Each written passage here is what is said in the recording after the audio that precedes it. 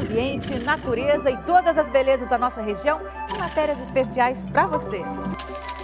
Se prepare para viver grandes aventuras com a gente. A partir do próximo sábado, ao meio-dia, a estreia da nova temporada do Nordeste Viver e Preservar.